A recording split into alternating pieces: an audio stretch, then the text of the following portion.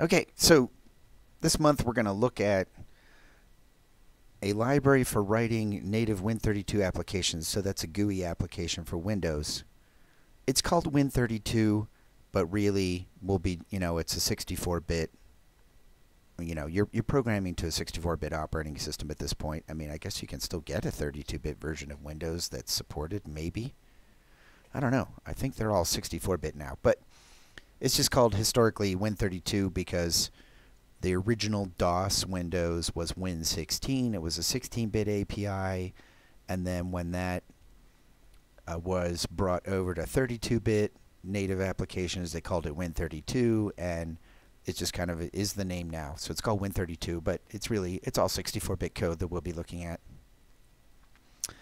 So um, this library, WinLamb, um, kind of a little bit of history. You know, WinLamb is a is a recent header-only open source. It's got an MIT license, which means you are free to modify it. It's not GPL, so you can take it, modify it, keep those modifications private. There's no requirement that you contribute back if you modify it in any way. So it's a very um, permissive license.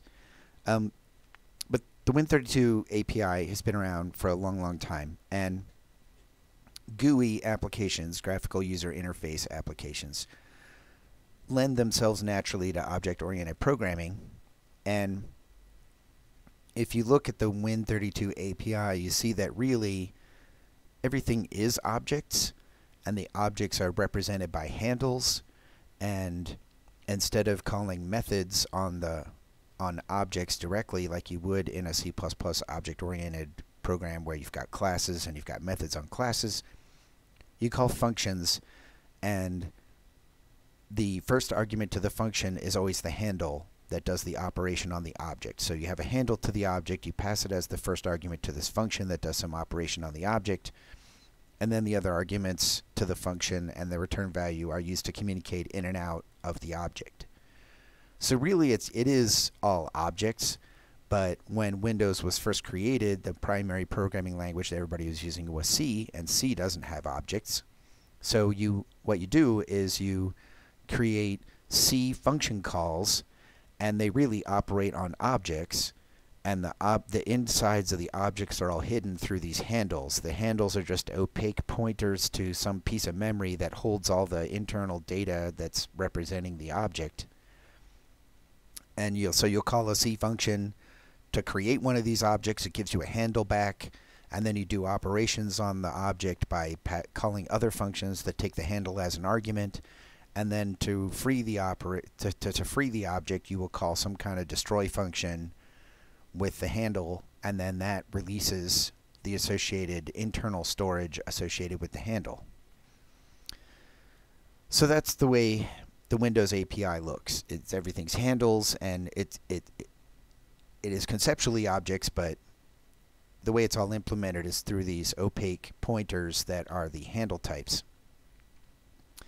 So as uh, Windows evolved and C++ came around, they created uh, the Microsoft Foundation classes library, um, and uh, that was what we looked at. That that was 31 years ago that they created that, and that is a set of classes that expose all those GUI objects as true C++ objects. So instead of doing some weird function call and a bunch of you know weird data pointers being passed around in order to say get the text out of an edit box, you have an edit box class in MFC and you just call get text to get the text out of it.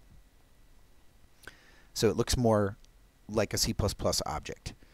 Now, the MFC class design is such that um, you know, kind of, if you use MFC for an application, it's kind of in for a penny, in for a pound. So as soon as you do your first line of MFC, it's like eight megabytes of code gets linked into your application, and that's it. You know, you, you don't have any choice. You can't get just the 260 kilobytes or whatever of MFC that you're actually using because it's all connected together. So it's it's a big thing, and it comes in and so you pay a heavy cost for that first bit of MFC, but as you add more and more window types and more and more dialogues and more and more GUI to your application, it doesn't get significantly larger because the 8 megabytes is the entire implementation of this whole framework for GUI applications. So that's fine if you're just doing a desktop style application, but if you're trying to make a little GUI plugin component to somebody else's application, paying 8 megabytes for every one of those components is prohibitive. So they um, for these components that can bind into other objects, they came up with something called the component object model. This is a whole um, framework for being able to write a piece of functionality in any programming language and have it be binary compatible with components written in any other programming language. And really, if you've um, if you go and look at um, the .NET framework, really the .NET framework is another iteration on that concept of binary components that all can play together. Um, just taken to the next level to make things even more interoperable so that uh, you, you don't have to go through the low level funny business that you have to do in COM to provide the same functionality. You can do it in .NET much easier. So it's really .NET, from my, this is my opinion, .NET is really another turn of the crank on the component object model, incorporating all the things that they learned from writing you know, thousands and thousands of people writing different COM objects. And in order to avoid, you can write a COM object in MFC, no problem. But MFC being so heavyweight, they came up with an, a library for C++ that's template oriented.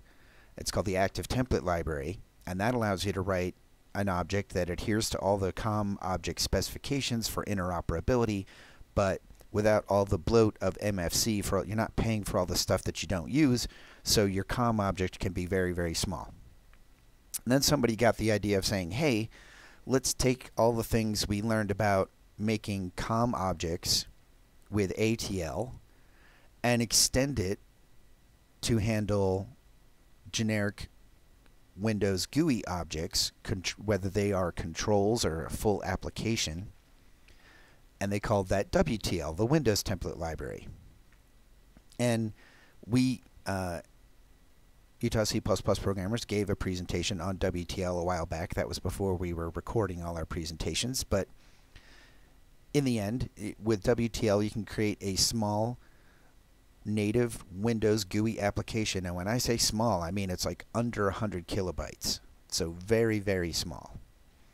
Um, and that's because the Windows template library acts as a thin layer providing some abstractions around the typical needs of a Windows application, which we'll go over what they are in a second, and implements them in a very efficient way that kind of C++ is famous for, you know, not you don't pay for what you don't use if it's done correctly.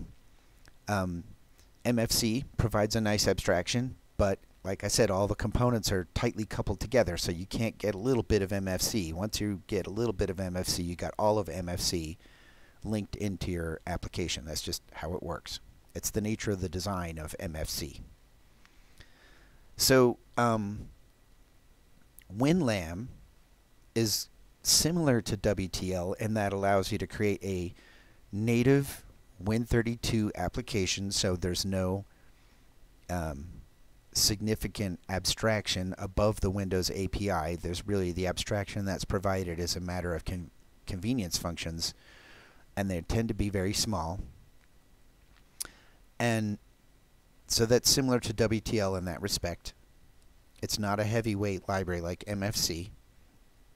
But unlike WTL, both WTL and MFC use a series of macros to organize what's called the um, dispatching of messages from Windows to application code that's responsible for responding to those messages. So, um, let's take a look at some code here.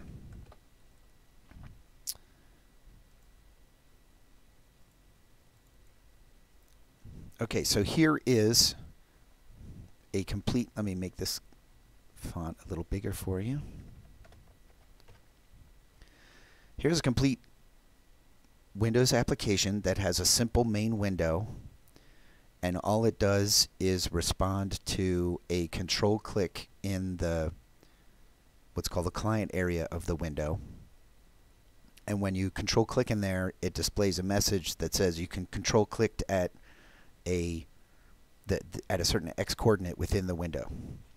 So if we run this,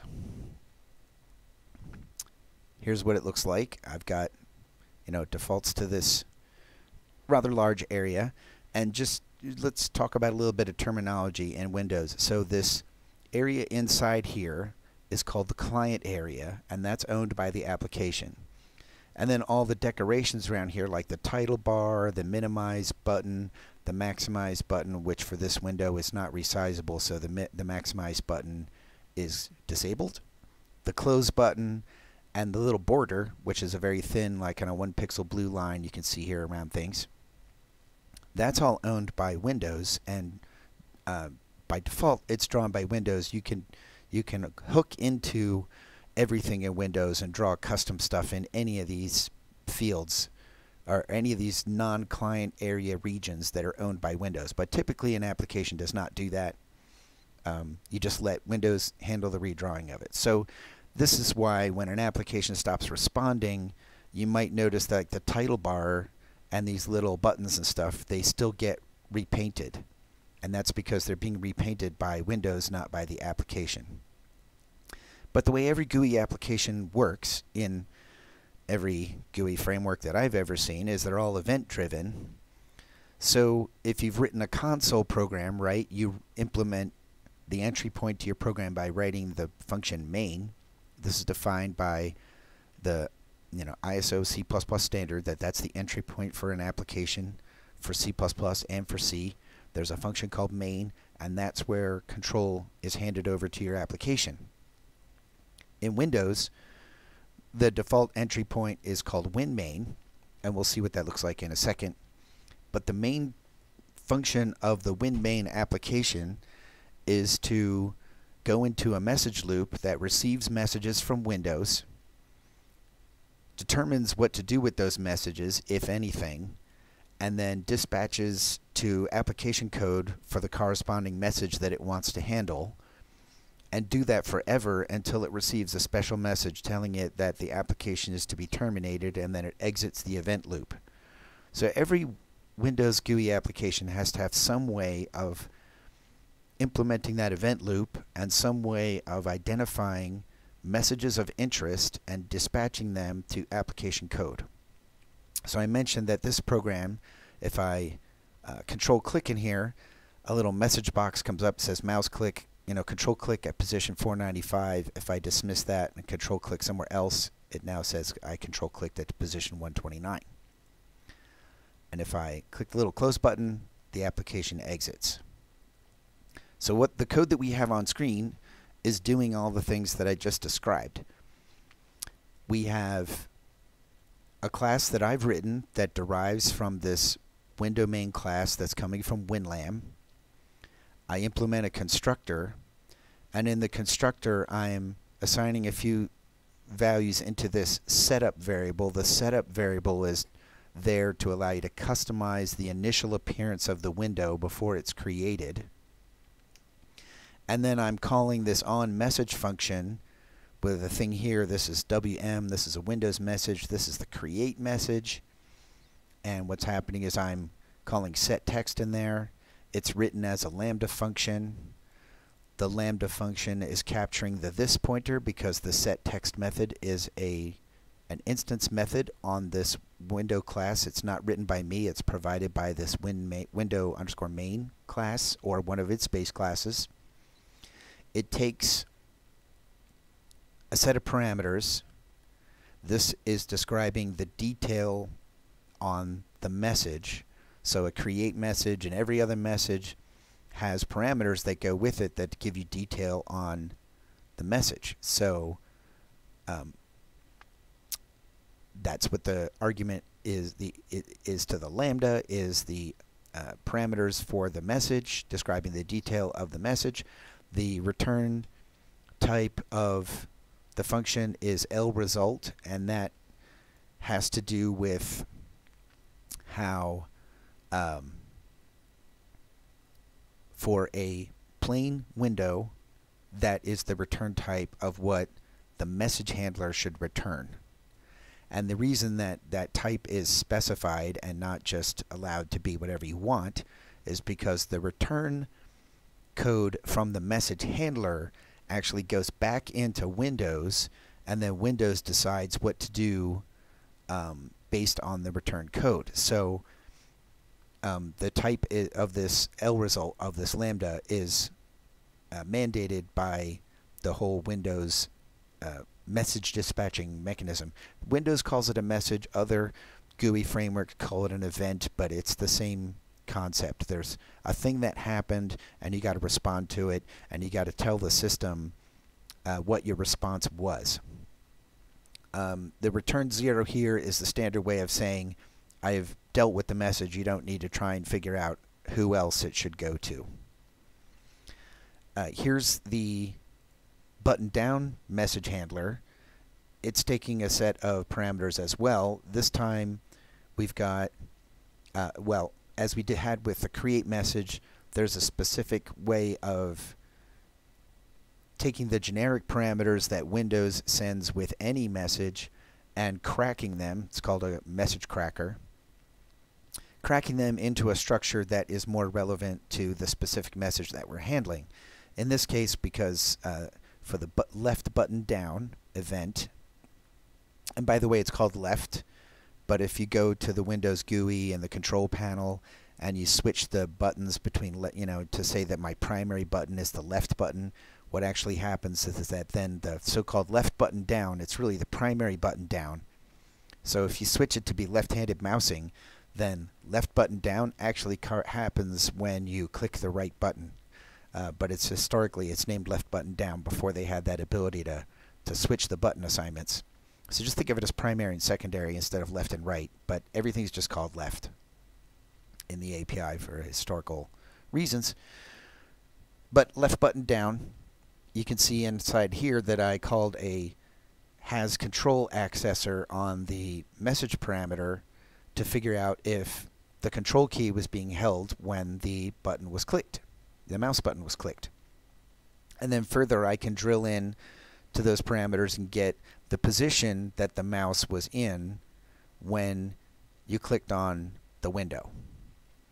And I just call uh, message box to display that little message box there, and I'm using uh, you know MB OK to say that the message box should have an OK button. So let's just run it again to remind ourselves what that looked like. So here's my window.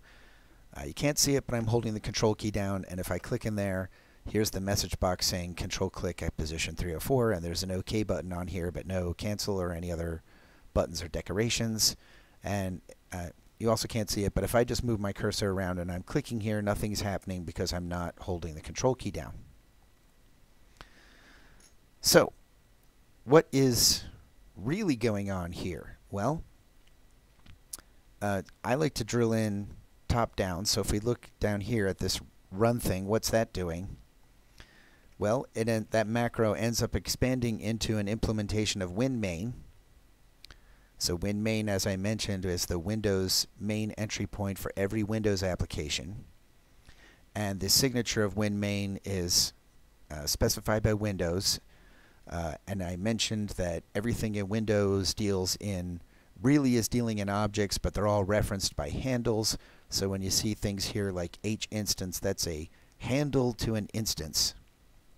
And if we drill in with the IDE, we see that there's a, we're in a header file provided by the, the Windows SDK, which, you know, sad to say that Microsoft keeps changing the name of the SDK now I think they even call it like the Windows Kit.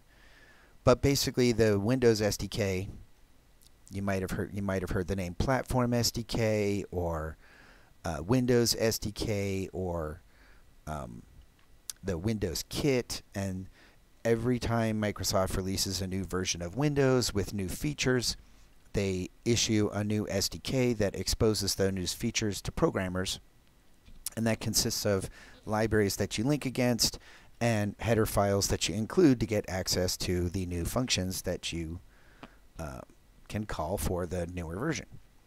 So an H instance, though, has been around forever, so it's not a thing you have to version test against.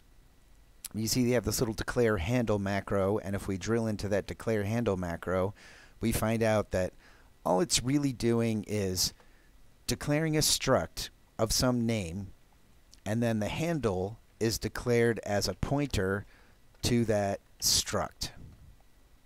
So as I said, it's an uh, and even in the, the, the struct declaration, you see it's kind of it's clearly this bogus thing with a it has to have some data inside the struct and in C you can't declare a struct that's empty it has to have something in it so they have an unused field declared in here but really that's all just a lie because that's not really what's stored in any of these handles it's just something to satisfy the syntax of the language.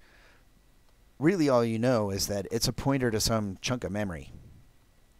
All these handles are just pointers to chunks of memory. Uh, because they're opaque. It's an implementation detail inside Windows what's actually inside this thing. So you're, what you're supposed to do is use the functions to get and set the interior guts of those objects by referencing them via their handle. So WinMain, it, it takes some handles. It it takes a uh, this thing can LPW stir. So let's just kind of talk briefly about how things in the Windows SDK, which is what I'm going to call it, their naming convention. So you might guess that since it has stir in here, this is some kind of string type. And if we use our IDE to drill into that definition, we see that it is uh, got some kind of annotation here that says it's null terminated and that LPW stir is a pointer to wchar. And wchar is in C++, it's a wchar t. So in C++, wchar t, the width of wchar t is implementation defined but on Windows it's always a 16-bit Unicode character. So it's called a wchar because it's a wide character. It's not 8 bits wide like ASCII or ANSI. It's 16 bits wide per character. And so that's now we know it's a string. Okay, it's a it's a C style string that's null terminated, but it's a string of wide characters. So what's this LP business? So the P business is just whenever Microsoft in their SDK declares a type that is a pointer to something. So here is just pwstir. It's a pointer to a wide null terminated string. That's what pwstir is. So what's this lpstir? Well, as I said, Windows started as a 16-bit DOS API, and in the 16-bit land on x86, they had the so-called different memory models. There was a, pointer that was specified as a, a short offset relative to um, your current instruction pointer location. So that was called a, a near pointer. And then you had long pointers, which were 32-bit offsets relative to the instruction pointer, and that represented a pointer to something that was farther away. So the, the LP, the L in LP is an anachronism. It's just held over historically and so really eh, there's no difference in current Windows between a pointer and a long pointer. They're all just pointers because it's a flat address space. It's not a segmented address space like those 16-bit x86 CPUs had. So there's no difference between a so-called short pointer, a near pointer, a far pointer, or a long pointer. They're all just pointers. It, it doesn't matter. But historically, it's got LP. It was a, a, a long pointer to a wide string. This is the command line argument for WinMain. And in Visual Studio, if you're ever on a Windows API function and you want to see the documentation for it, sometimes this breaks, but most of the time it works, that if you press F1 in the IDE, it will launch into um, the online documentation for that particular function. And you see here, it's kind of brought me to the wrong place. It brought me to W main, not not win main. Uh, if we go back here and I hack this and I remove the W off of win main and just make it win main, press F1, now it's taking me to the right thing. So like I said, most of the time it works. It's still, you know, ever since they moved all their documentation online to a website, it used to ship as a local help file with the IDE, and I never had it fail when it was a local file in the IDE. But ever since they moved it off to the website, eh, most of the time it works.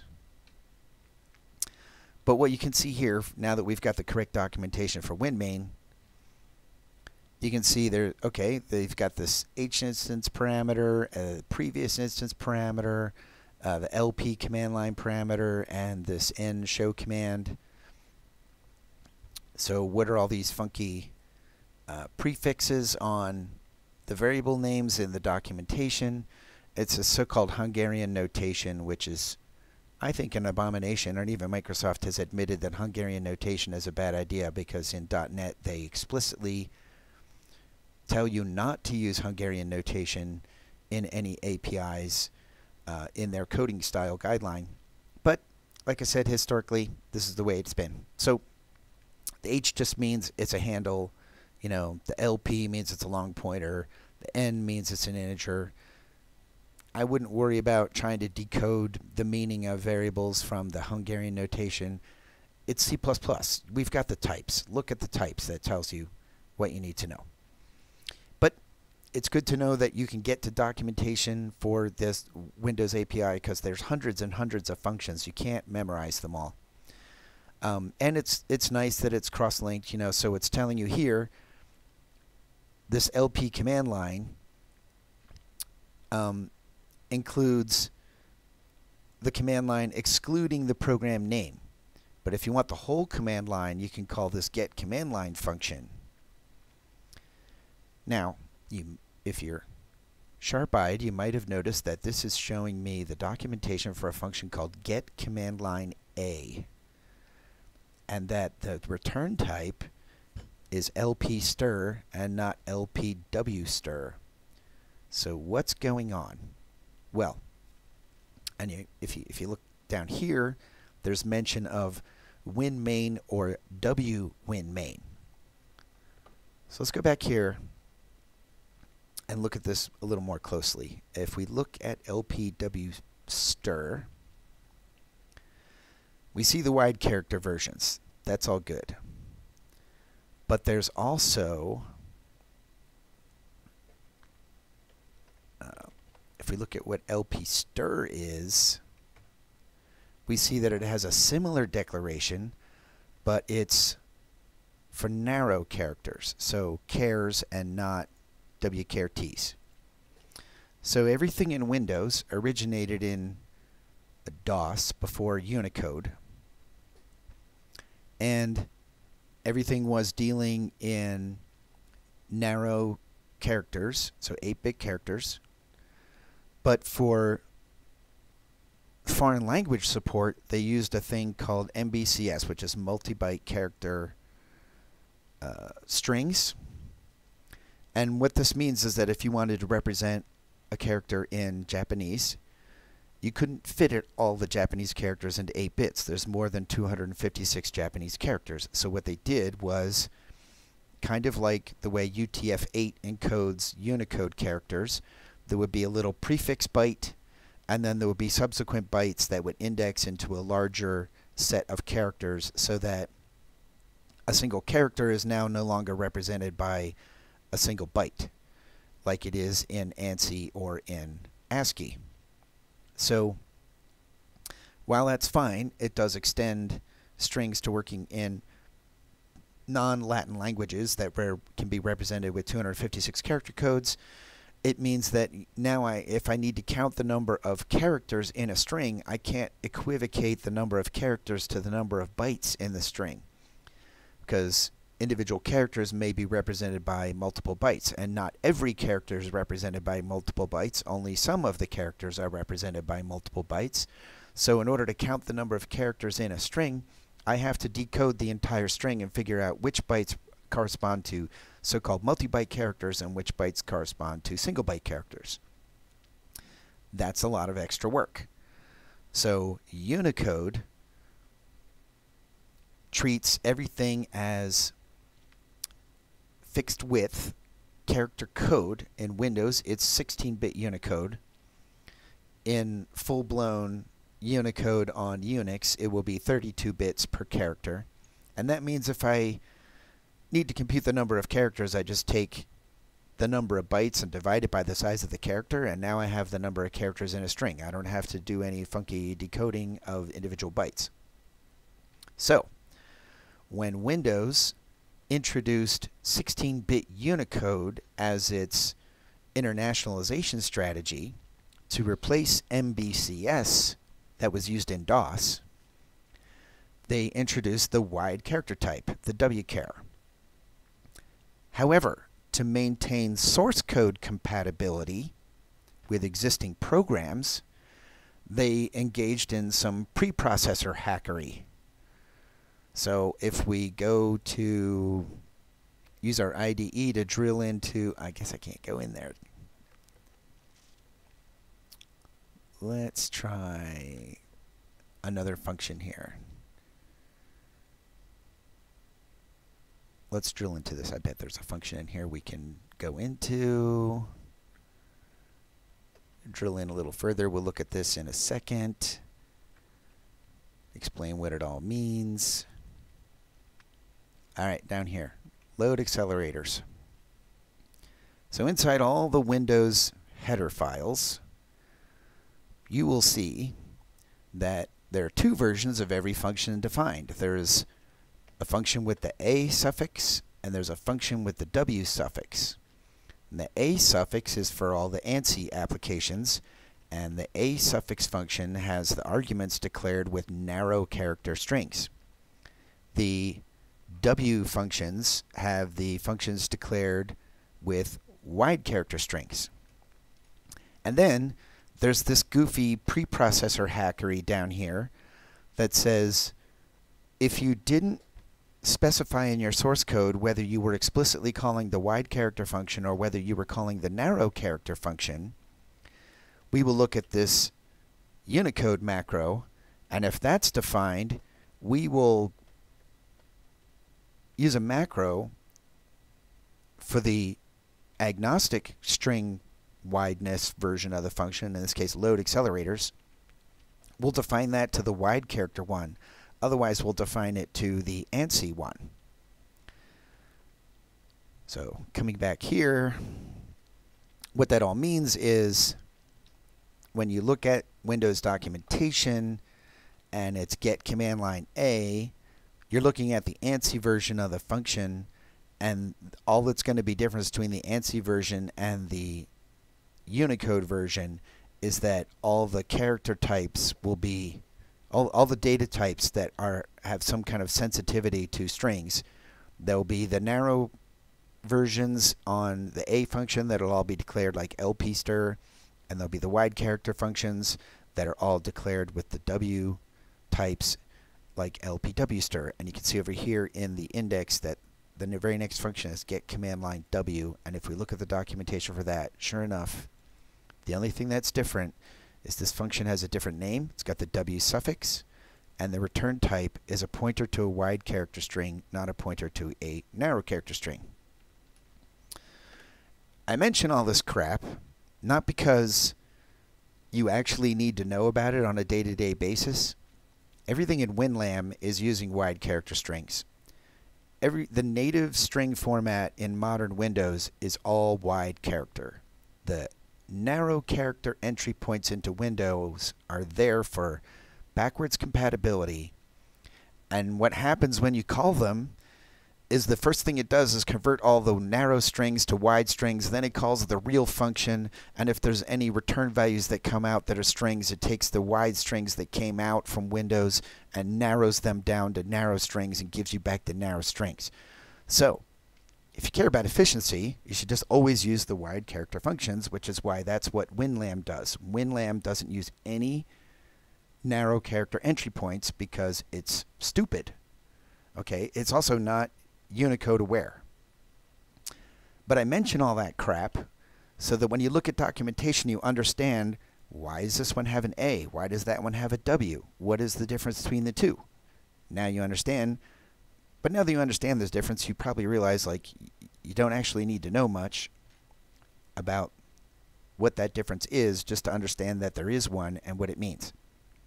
Now, there's an even weirder thing that Microsoft did, which was at the transition point between DOS and so-called Windows NT style Windows, Windows NT was always wide character string native. But DOS versions of Windows, like Windows 95 and Windows 98, Windows ME was the last one, but that's such an abomination, even Microsoft admits it was a mistake.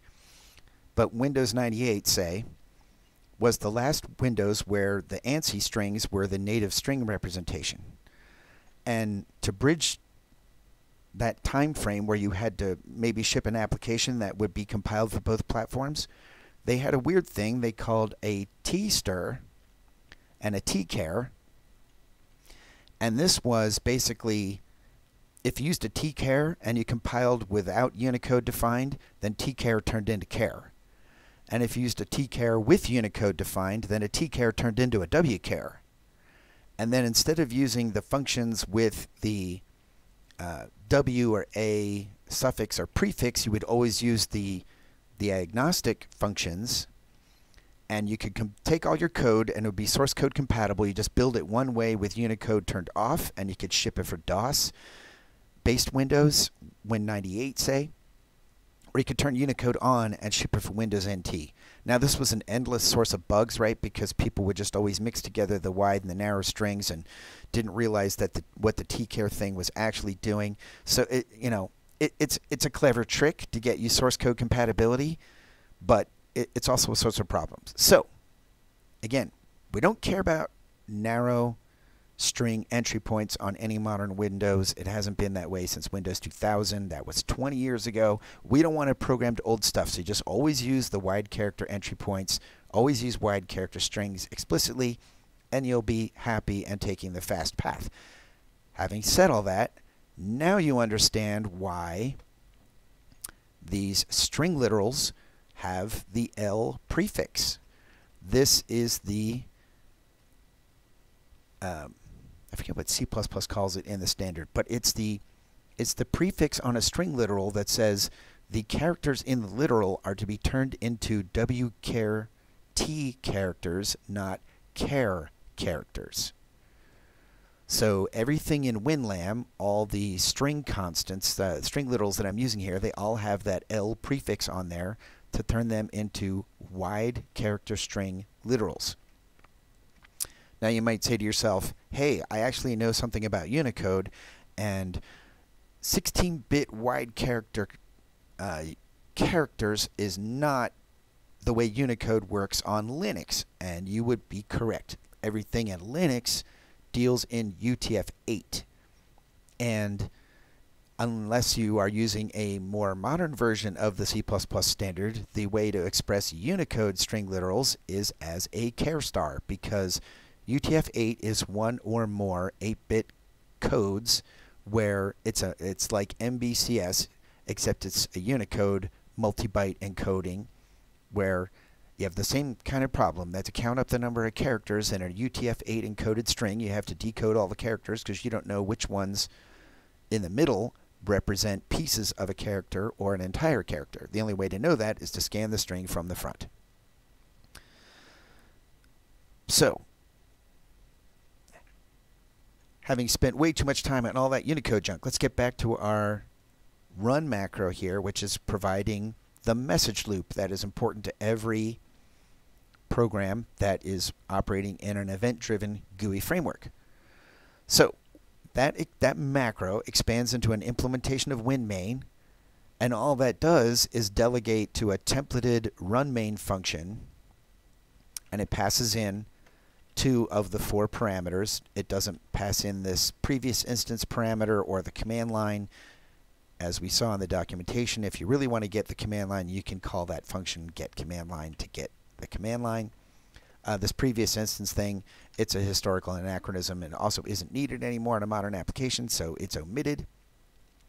If we drill into that templated function, we see that here it is, um, and it's instantiating the type that was given as the template parameter to create an instance of that type. And then it calls the win main run on that type.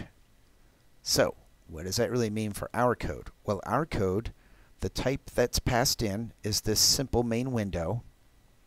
So if we drill into this, and it's deriving from WinLamb's window main class, if we drill into that, we see there's a bunch of junk in here, but the part we are interested in down here is the message loop. And we see that inside here it uh, and does some initialization stuff, uh, does some more initialization stuff, and then eventually it delegates down to this thing called run loop. And if we look at run loop, here is the main message loop. It's creating an instance of this message structure. That's a Win32 structure that represents a message. If you want to take a look inside, you see that it's got some you know, data members in it that are filled in by Windows when we get a message back from Windows. This is the stuff that I said the uh, whenever you get a message, it comes with a bunch of you know information. This is the information that it comes with. Every message comes with this stuff. A message may come with additional information, but this is the, the stuff that every message comes with. So we have an instance of that message structure. We're calling getMessageW to get that structure filled in by Windows.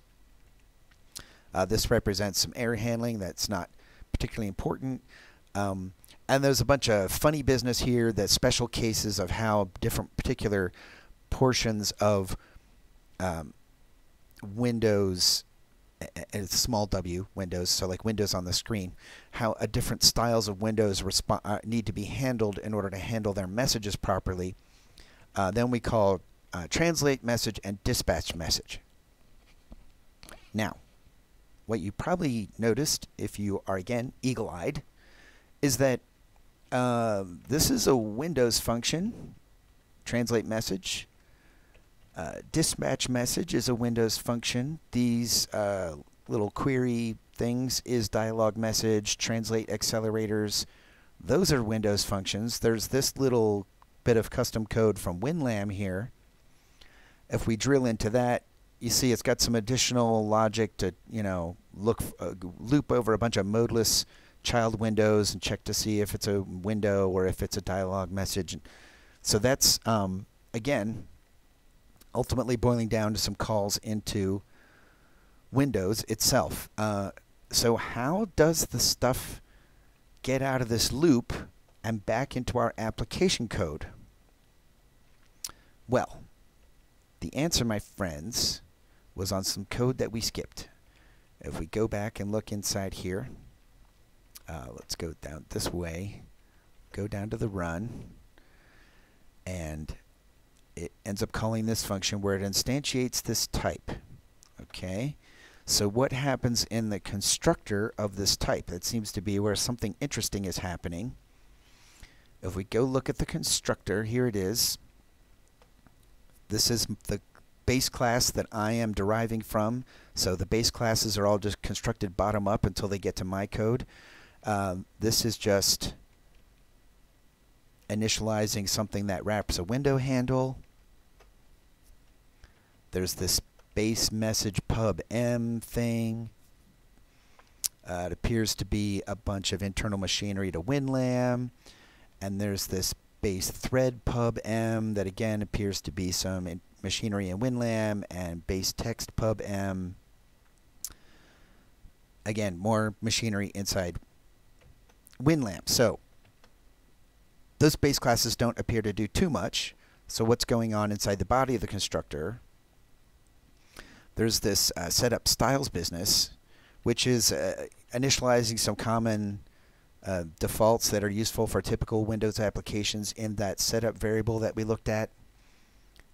Since that is all happening in the base class before we get to my code, if I'm not happy with any of those defaults, I can replace them here and put different values, or in, in the case of this style member, I'm adding on something and leaving it um, I'm taking the values that they gave me and adding on a new flag instead of replacing it like I did with the title here. Okay, so there's all of that. Um, and then there seems to be this uh, on message thing.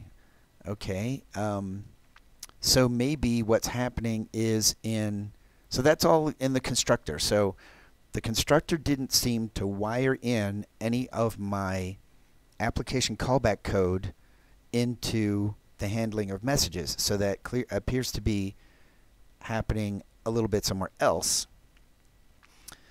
Here's the, the WinMain run in the base class that I'm using. If you if we recall back over here, this run macro expanded into a little thing that just called that WinMain run function. Here's the one that I'm getting from my base class. I could I could write my own that would be used instead of this one. But the interesting part is happening in this register create. And then finally, down here we see, here's this call to create window EX. This is the thing that creates the main window. Now in Win in, in Win32, you can't receive a message without a window. So the even even if you don't put a window on the screen, if you're interested in events like mouse clicks anywhere on the screen or mouse movement, anything like that, you have to create some kind of window because messages are, are sent to the message queue associated with a window. And we saw that there was that message loop that got a message and then it translated it and then it dispatched it. But we didn't see any call into our code at that point where we, you know, at, at, dispatch message, you kind of expect like, well, shouldn't that be taking like a pointer in my code and calling my function when it dispatches the message? How does it know to get back into my code when a message is dispatched? And the answer to that is that if we if we look at the documentation for create window ex, uh, went to my other screen. Um, there's this thing that's the window class. So again, object oriented in in Win32, individual windows are all instances of a particular class of window type and you register the window class type with Windows itself with Win32 through this register class function. And if we drill into register class, it takes this pointer to this structure, and we drill into the structure, and then finally, here's this thing called the window proc, the wind proc. This is the thing that receives the messages. So if you were doing this all by hand, raw, Win32, you would create one of these Win class EX structures, fill it out. One of the members is a pointer to a function that processes the messages as they've been dispatched to your window. So if it's if it's a message that's not handled by Windows itself, it ends up going to you. It ends up coming in through this function pointer.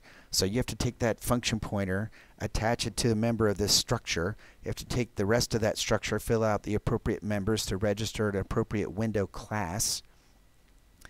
Having registered the window class, you can now create a window that is an instance of that class. And then when the message loop runs, eventually it'll come back through this wind proc. And that's a big pain.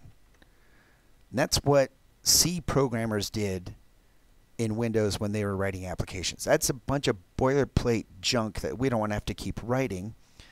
And that's what WinLamb is doing for us. WinLamb has implemented the main message loop. It's implemented that window proc that gets registered with the class. And here you see in my setup variable, I've set the, the class name of all the windows that I'm going to create um, it's the class name of which I will use to create instances of this window class type. But what I really want to do is just write something simple like this. Say, when I get the create message, call this lambda.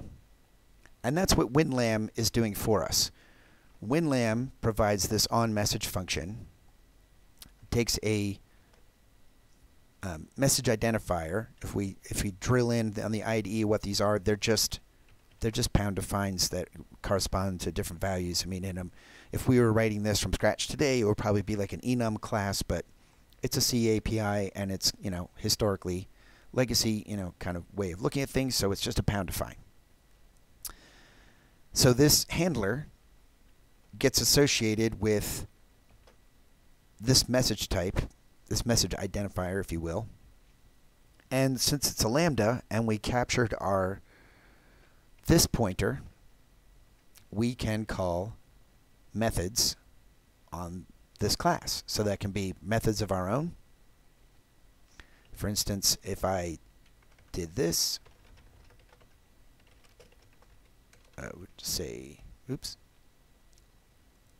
just to show you what's going on here. If I say L result, do stuff, and then I take this code down here, and then I say do stuff here, and put this code up here, and run this. What did I do wrong?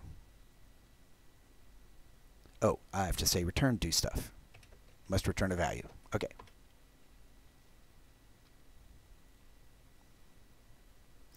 So we can see that the window was created, do stuff ran because it changed the title of this window. So the fact that I was calling, you know, a WinLamb method here provided by this base class or one of its ancestors, or whether I'm calling my own method doesn't doesn't really matter. Okay. Uh, because I'm capturing the this pointer to this class to my own class, I'm not capturing the pointer to the base. Okay, so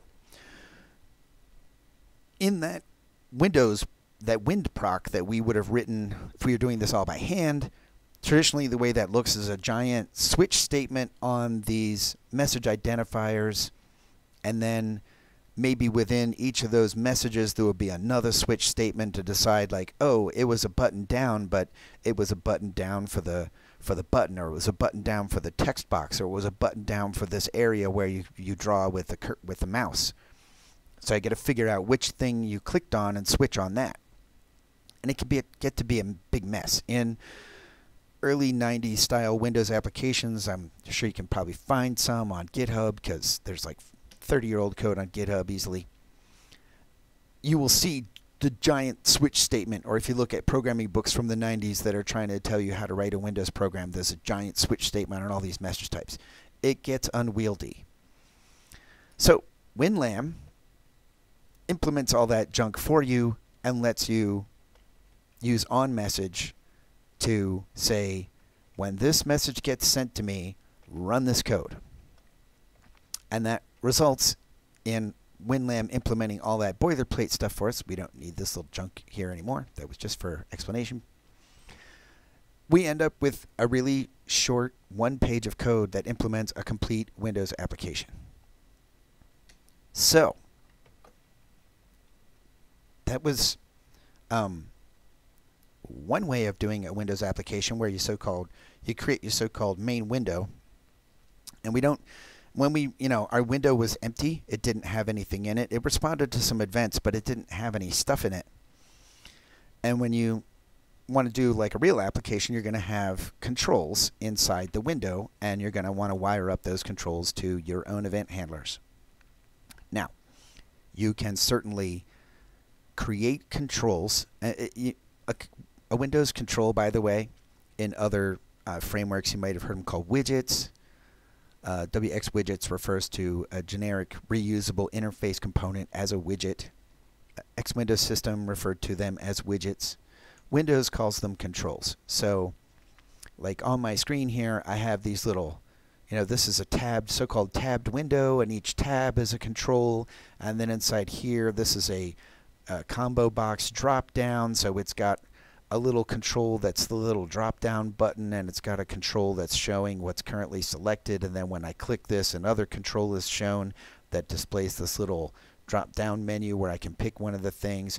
Every menu item on a menu is a control, and when I click on the menu item, the pop-up menu that's created is a control, and all the individual items within here, including the little separator bars, those are all controls.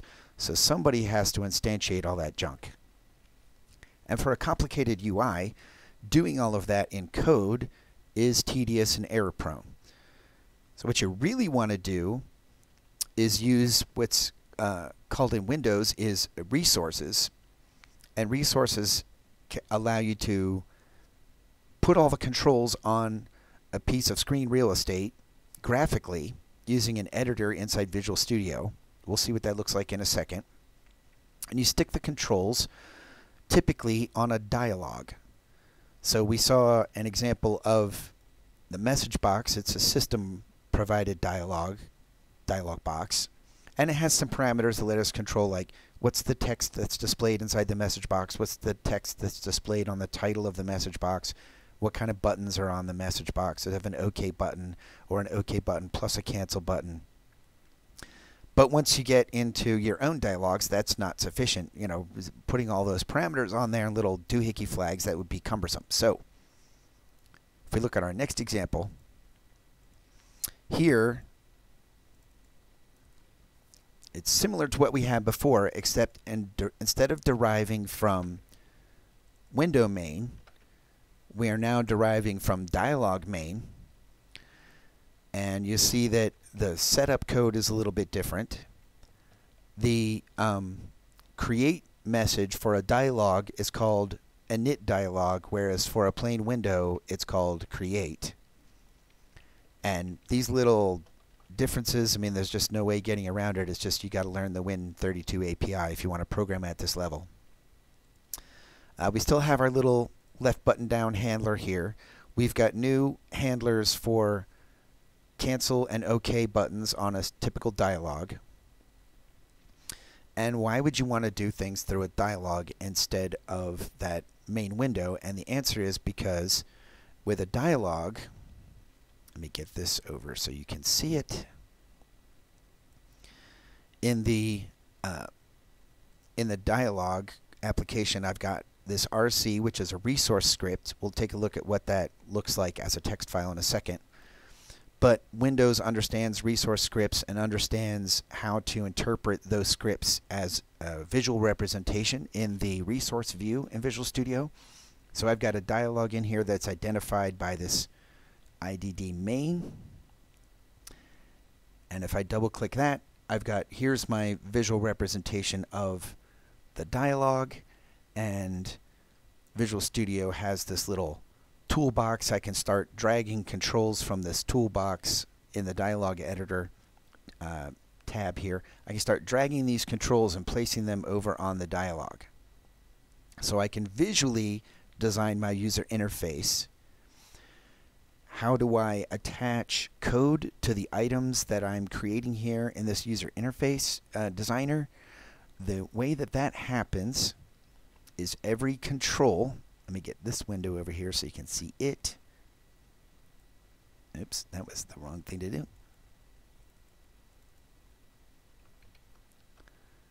Oh, now I did something goofy.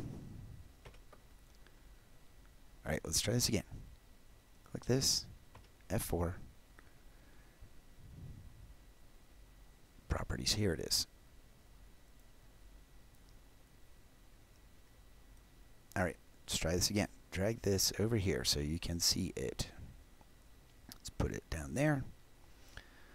Okay, so when I've got something selected in the Visual Resource Designer, you see there's here's all these properties associated with that thing that is selected. You'll notice down here the text for the caption.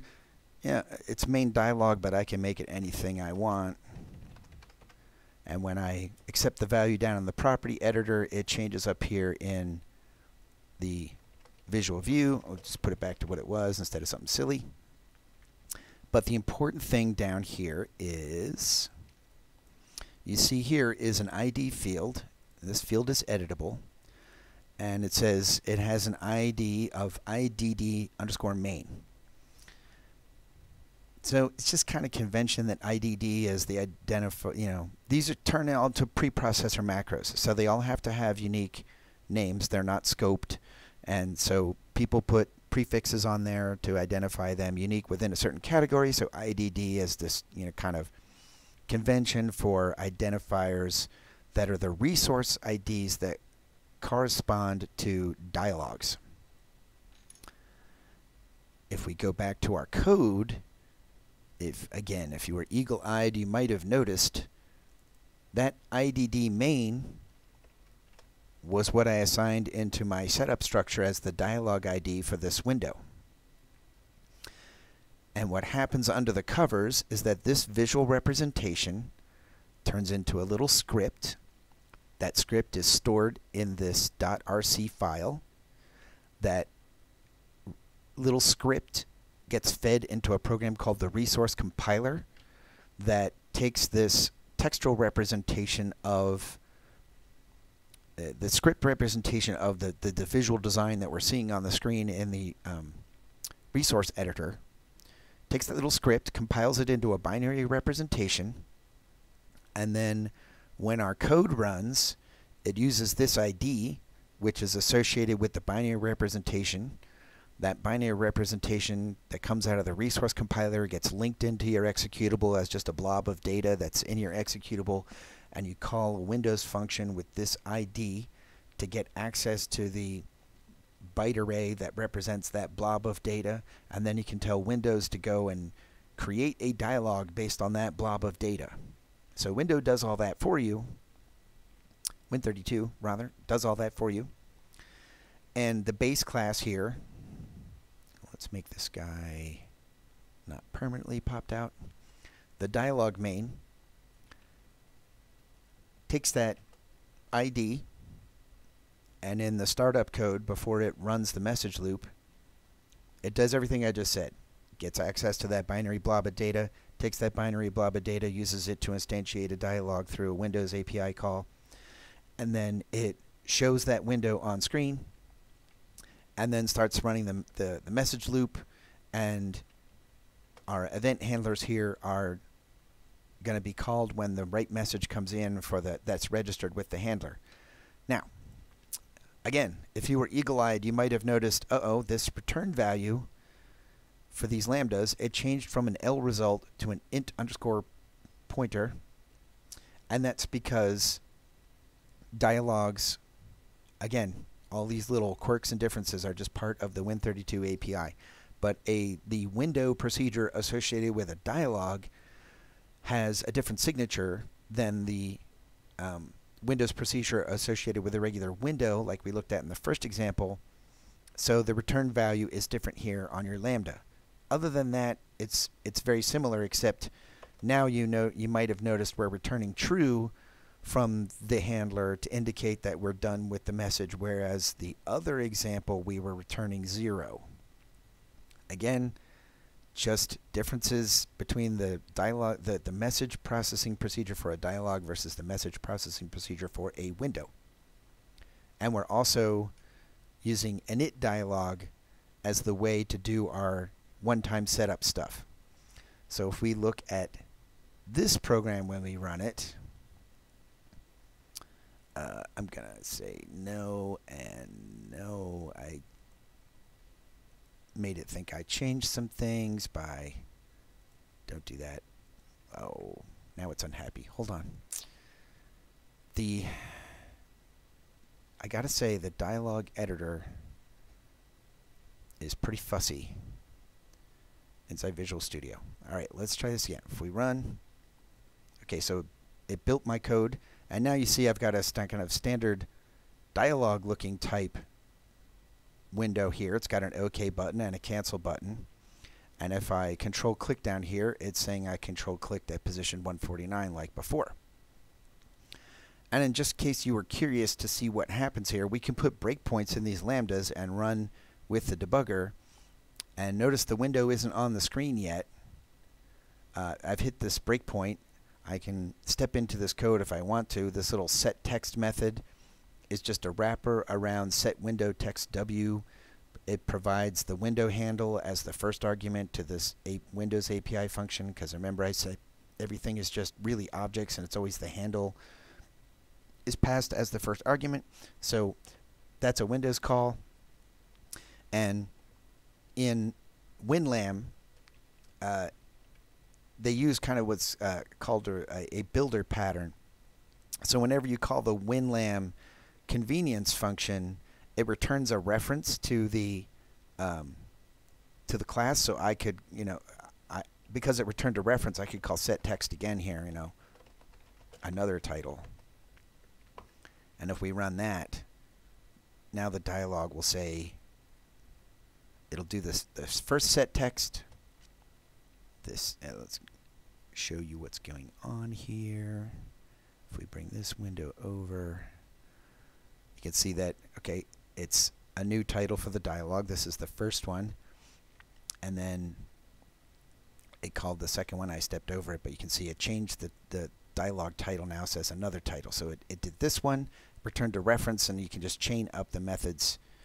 In this case, I, my example is silly. I'm, I'm calling set text twice, uh, just overwriting the value I wrote the first time. But if there's a bunch of things you need to set on the window, you can just chain them all all together. It's kind of convenient. It's an example of what they call the builder pattern. Um, let's get rid of this breakpoint and put a breakpoint down here in the OK handler. So if I continue, here's my little dialog you know, if I press control click, I get that functionality executed. If I press cancel, it went through this handler, so we didn't we didn't get down to this code.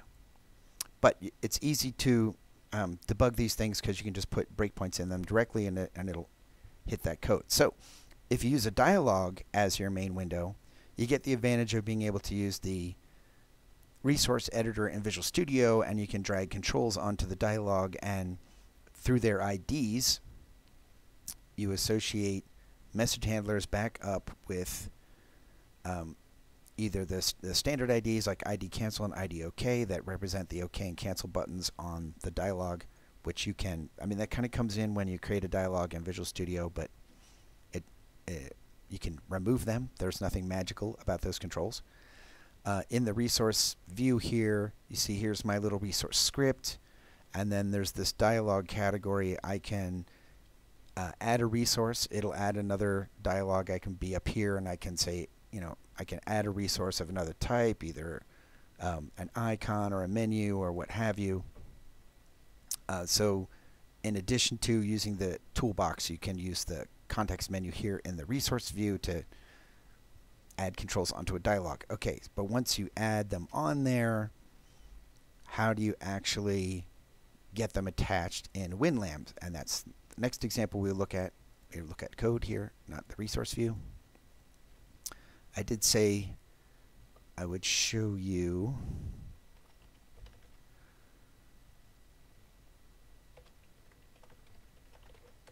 Oops. And we're in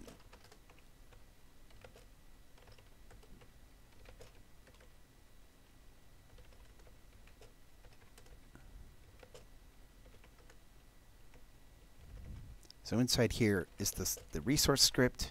I'm just showing it to you this way instead of directly in Visual Studio because Visual Studio really wants you to manipulate everything through the visual editor.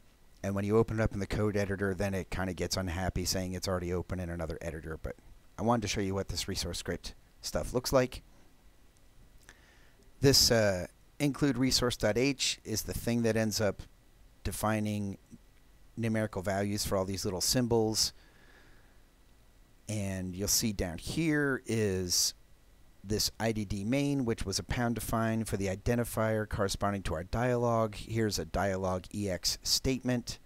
So here's the initial, um, I can't remember one of the, these are like, you know, either the X and Y position and the width and height of the dialog. Here's uh, stuff specifying the initial style of the window. Here's the initial caption.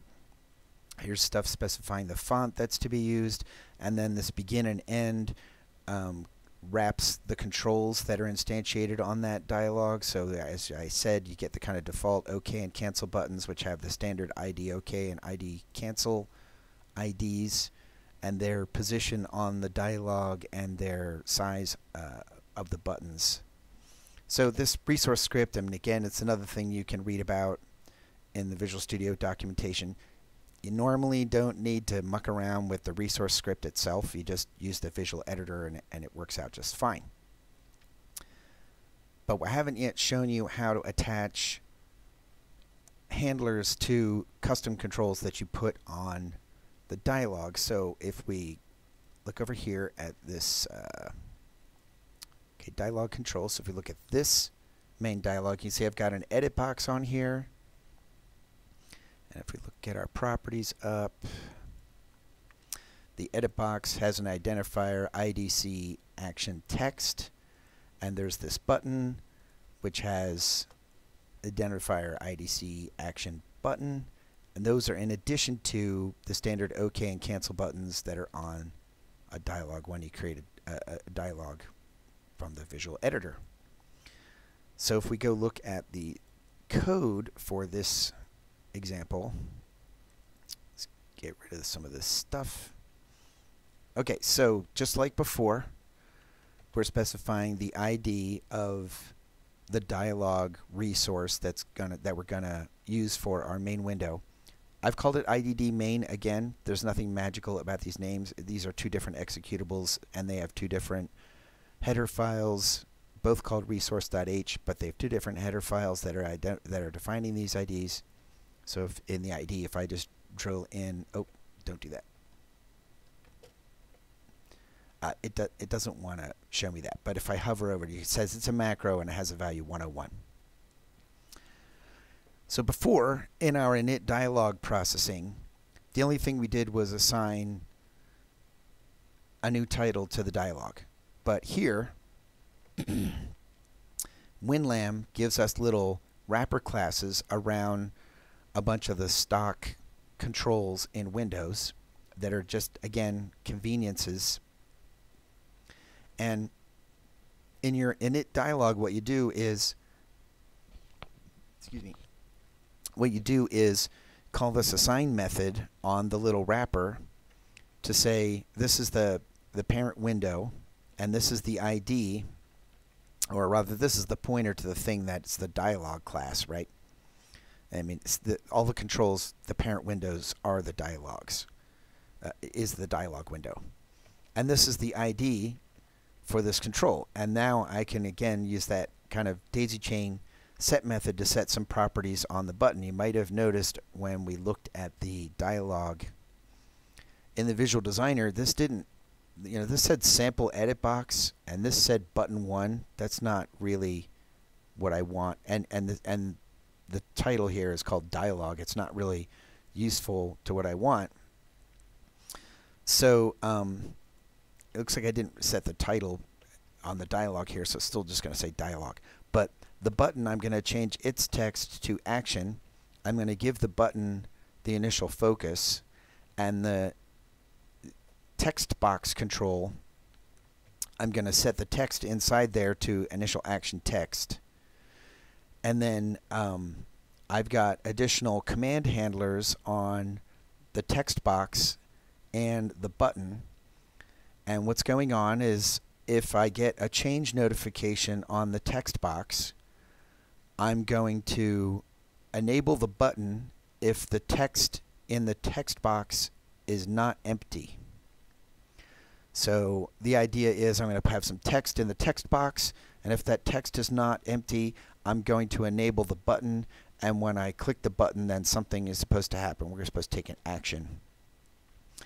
And so for the button, if I get a clicked notification, then I'm going to display a message box. Here I'm using, in the previous code, I was just using the raw Windows message box function. Here I'm using his little wrapper from WinLamb around that. The convenience there is that it takes wide string, you know, stood W string as a wide string uh, argument for the text that is to be displayed in the message box. This is the message box title. So if I run this, okay, here's my dialog box. Here's my controls. You see that the text was changed from that sample edit box thing, and this no longer says button 1, it says action. And if I edit in here, but I delete all the text, then the button is disabled. If I type some text in there, the button is enabled again, and if I click the action button, then it shows a message box with that text you know, shown in there.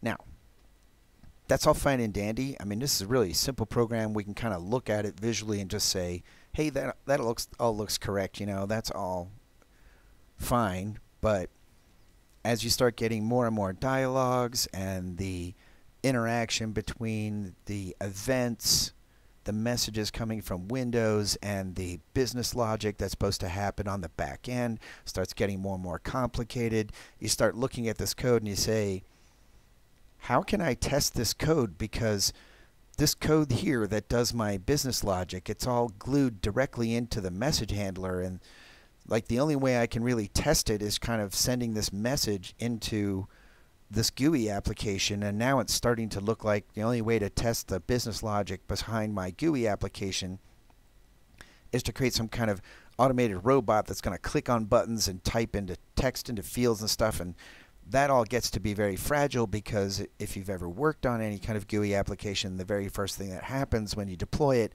is people say, could you move this control a little bit up and make this text box a little bit wider and you know maybe put the button in a different place. So when you try to do some kind of event playback into a GUI application, as soon as you change the position, size, uh, and orientation of any of the controls, all your recorded event playbacks for your tests all break because everything's all moved around. And people try to get fancier and fancier and fancier on the event playback, and personally, I just think that's a mistake. The better way to test things is to move the logic from where it's difficult to test to somewhere else where it's easy to test. then we can just write unit tests. So what does that look like? Well, I've got this same application, but I transformed it so that it's testable. So let's, what does it look like in its testable form? Okay, so here's this thing. I just changed the name of the class, but it's essentially similar. It's deriving from that dialog main. It's also deriving from this other thing over here, public dialog. And you can probably guess by the casing on there that that's a thing that I wrote that didn't come from WinLamb.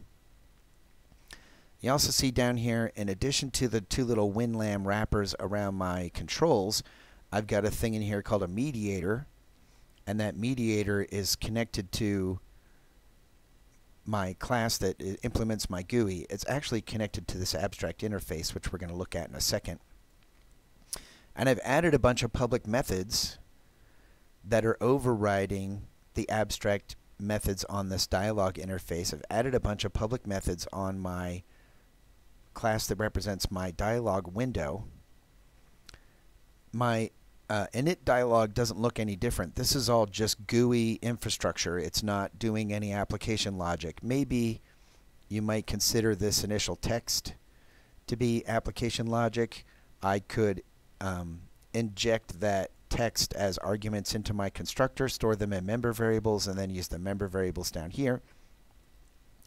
But the more interesting thing is that now all my event handlers, my lambdas that I'm using with WinLamb, all they're doing is delegating to methods on the mediator. So now all my business logic has moved out of this class that is tightly coupled to the Windows GUI moved on to another class that I can unit test. And if we, if, well, instead of remembering, let's just go back and look at this for a second.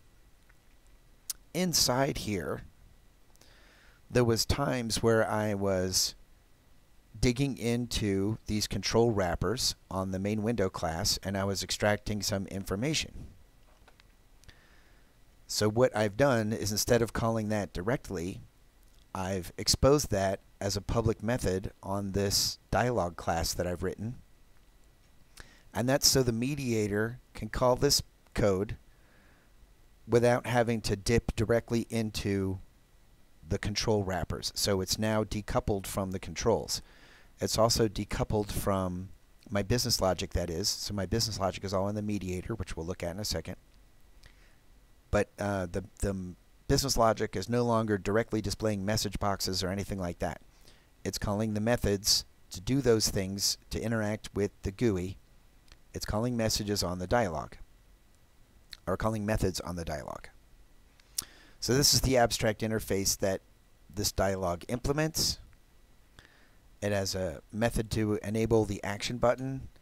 It has a method to get the action text. That's the text out of that text edit control. It has a method to do the perform action logic, which in our case was just displaying a piece of GUI, but that could be something else. It has a method to uh, display the click position, and it has a close method. Uh, the close method, for instance, if we go look at that, it's the thing that's sending the close message to uh, to the to this window, and then Windows will dispatch that to us. And uh, the standard dialog procedure for any dialog knows how to close a dialog when it receives a close event.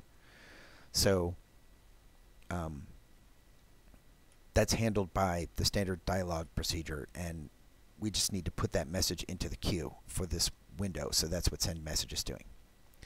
So our mediator, now what I've done is I've pulled it out into a separate little library. Uh, I'll show you why I've done that in a second. But here's my mediator.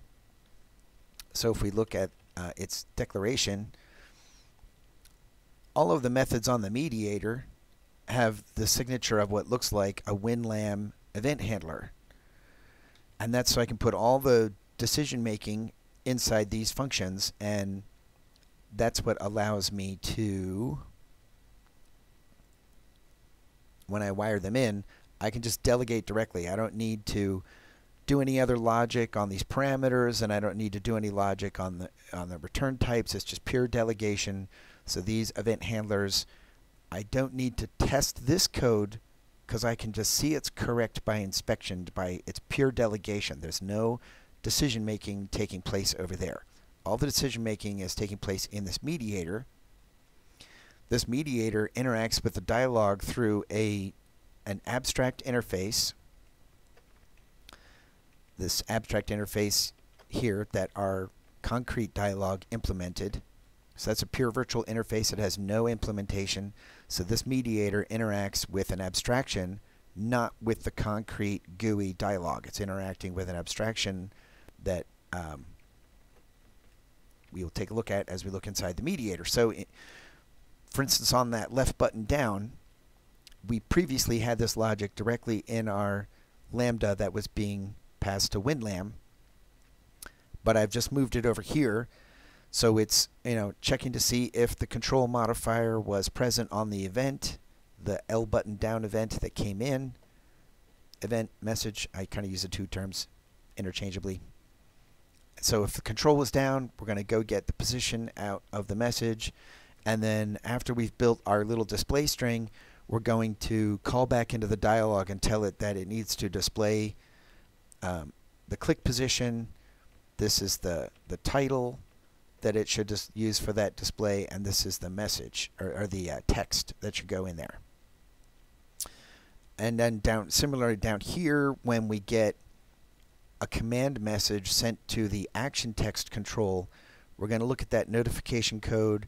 If it was a change notification, meaning the meaning the text in the control has changed, we're going to fetch the text from the dialog.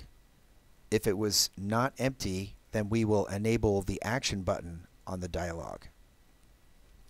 So what, what does that mean for the tests? So I've the reason that I pulled that out into a little library, so that library is referenced by the dialog application, but it's also referenced by my test code, which I've uh, implemented as a little bit of gtest test cases. I'm using uh, gmock as well. So I, I won't go into the details of a full gmock gtest tutorial, but what I'm doing is I, here I'm making a mock dialog and I'm instantiating that mock dialog for every test case. I'm instantiating the mediator connected to the mock dialog. So the thing I'm testing is the mediator. The mediator collaborates with an abstract dialog. The abstract dialog is what I'm mocking. So uh, this is a, just a simple test that says I should be able to construct these things and tear them down without any errors. That happens as a result of this test class being instantiated and destroyed by gtest. This is a test f, which is a, it's a fixture test case where this is the fixture class that represents the state that's created and destroyed for every test case. This is the name of the test case. For the for the create and destroy test case, I don't need to do anything besides what's happening in the fixture. Um, here I've got a test case that says if I get a left button click but there's no modifiers, then nothing else should happen to the dialog. So I'm just calling left button down with the suitable params that I've created. These are just simple structs, so I can just create them by you know, providing the appropriate initializers for the fields in the structs to give me the params to a message. I call left button down with those params, get the result back, and I expect the result to be true, and it, nothing should have happened to the mock dialog. Now, if it's control held down when I left button click, uh, which I've changed the little event initializer to, to say that the control key modifier was present. I expect that on the mock dialog it should have called display click position and the underscores here just represent wildcard arguments. So all I'm saying is if the control button was held when the left button click was received, then um, it should have called display click position. And that's what this uh, expectation on the mock sets up. To go a little further, I say it. now I'm going to say it should have called display click position with this exact text for this exact set of message params that has a position of 10 comma 15 the message should say control click at position 10 and the title should have been mouse click. So this first test was just saying if the control was held down when the button click came in it should have called display click position. It, it should have called it with something. I don't I don't care what it called it with but it should have called display click position. Now I'm testing that it was called with the specific message. And similarly for the other um, methods on the mediator, I'm testing them all. And kind of the one that's kind of interesting is here saying if I had the change notification on the action text control, so a command message with a change notification code on the action uh, text widget,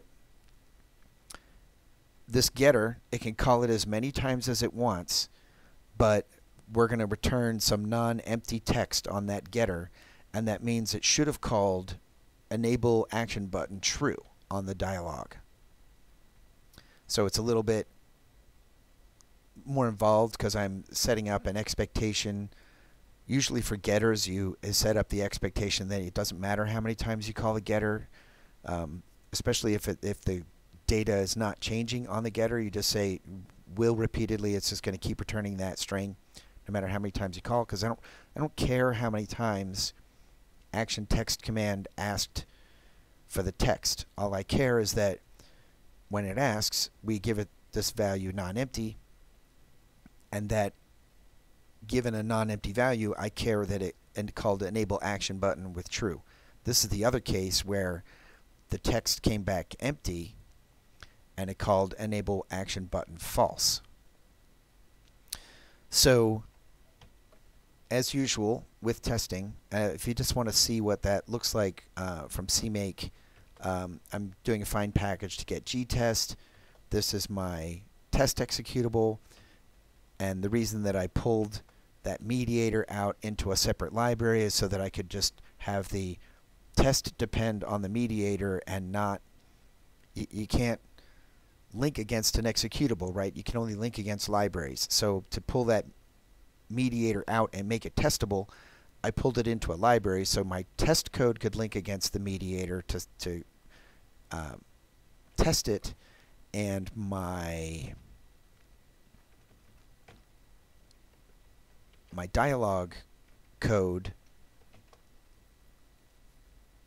uh, sorry, this is the code for the mediator library, so it consists of that abstract interface, the implementation of the library, and uh, the library uses data types from WinLamb, so it links against WinLamb, and then the the code itself here for the dialog, it links against the mediator as well. It doesn't link against the tests. It doesn't need the test code. It just needs the implementation of the mediator. Um, I'll be pushing all this code up onto GitHub so you can kind of take a look at it later. Now, WinLamb is Windows only, right? So why did I use CMake? Well, CMake can be handy for uh, things, for instance, like finding my dependencies. I can use vcpkg. I can find WinLamb with that. I can find gtest with that. I don't have to worry about you know magic install locations on my machine. I can re easily refactor my code into libraries as I've done here with this little mediator library. Um, and then I just use CMake to regenerate the project structure that Visual Studio consumes and it all works fine. Uh, and it also is the case that if we just look up here, um, when you add resource files to a project in CMake, it understands that files named in .rc need to be compiled with the resource compiler. I think it understands that by default. It doesn't hurt to explicitly say that the language is RC to tell it that the resource compiler should be used to compile those source files, the resource scripts. The other thing you need to know if you're doing this from CMake is when you add your executable, you need to put this win32 keyword on the call to add executable so that when CMake links your application, it links it using the Windows subsystem and not the console subsystem. If you use Visual Studio directly, the way that looks like, so the test program here is a console program. So if we take a look at the system setting under linker in the project properties, you'll see that the subsystem is specified as console. Whereas if we look at one of our GUI programs, we'll see that the subsystem is specified as Windows. That's how the um, create process mechanism on Windows knows to invoke WinMain versus invoking main. It's whether or not the subsystem is console or Windows. If it's console, then it's main that gets invoked. If it's Windows, then it's WinMain that gets invoked. Now, previously, when we did a presentation on WTL, I had a little program that snooped the keyboard. Why is that? Oh, because that's a folder. That's not the project. Here's the project set as startup. So this little program here, I, I won't drill into all the details of it. Let's just go down to the bottom here. Um, you see that I've done this program that it's it's a Windows main, and instead of using that run macro, so before we had something that looked like this. Oops. Run in caps with an open print and it's the name of this little class. All right, so before when we looked at this, you know, it expanded into this little call here, and it took the command show argument and passed it down. Well, in this case, the point of this program is to not display a window, but just, as I said before, the only way to get messages is if you have created a window. Now, that window does not have to be visible to receive messages. Obviously, if it's not visible, it won't receive any messages relating to it being visibly interacted with. It won't receive mouse events and it won't receive click events and things like that. But it can still receive events. And the purpose of this program is to snoop the clipboard and when the contents of the clipboard change, what I want to do is grab the contents of the clipboard and save them out to a file. And the way you do that in Windows is you add a you call this add clipboard format listener to start listening to the clipboard and the messages are sent to the window argument so when my window is created now it's uh, initially created hidden because I instead of using that boilerplate run which passes down the command show that you get from Windows when you when you launch a program in Windows, it, it normally launches it saying SW show to show the windows of the of the show the main window of the program that you just launched, which is normally what you want. In my case, I want my window to stay hidden. So instead of taking the value that's passed into WinMain, I'm using SW hide and I'm hiding my little window here and I'm going to register on the create and deregister on the destroy for uh, clipboard formats. And then I'm going to listen for clipboard update messages. And when I get one of those, I'm going to call into this little snooper class that I've written. Uh, th this class doesn't really do anything with a window per se. It's only interacting with the clipboard. Um, I am using these little uh, com interface pointer helper classes and methods from WinLamb. They're down in these little WinLamb internals header files, but you know, everything in WinLamb is just a header only library, so I don't have a problem calling into a header down in the internals folder. Um, but I can save the bitmap on the clipboard as a PNG file by using these little this little Windows imaging classes imaging factory com API. Um, and so when I run this program, there's no window that's displayed. But if we go back over here and browse this code, here's the clipboard update handler. Here's I'll put a breakpoint here so we can verify ourselves that this is really being called. Let's get this out of the way. So if I take this text inside Visual Studio and I select it, it's not on the clipboard yet, but if I type Control C to copy it onto the clipboard, now we've gotten a clipboard update message. I go into my snooper here. Um, there's a little sequence number associated with a clipboard so you can make sure that you're tracking new changes, not changes that you've already seen we can ask the clipboard, was it a bitmap? No. Was it HTML? No. Was it plain text? Yes. So now we have a handle on this text data. It's this thing called a global, a handle to a global piece of memory. This is another Windows, you know, historical anachronism. You'd have to call it, you just have to call a, a little function to obtain the pointer to it. That's what this little global locker is, this little class I wrote it calls global lock and the constructor, global unlock and the destructor, and gives you a little typed pointer to the data after it's locked. So we can obtain the uh, it's char star data that I've asked for because I asked for